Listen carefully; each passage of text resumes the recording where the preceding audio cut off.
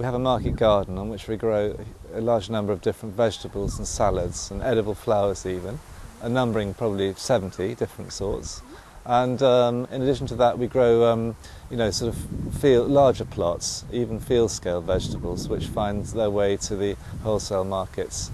And uh, we, they're also used to supply box schemes and um, community supported agricultural sort of um, projects and that kind of thing. Slow food um, benefits us because I think it enhances the uh, values, organic farming values, and is you know very um, em empathetic with them.